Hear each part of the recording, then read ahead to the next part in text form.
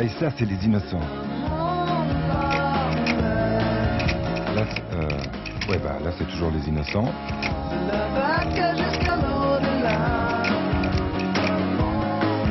Ça, c'est les innocents la mer. Ah, et ça, c'est le nouvel album des innocents, Postpartum.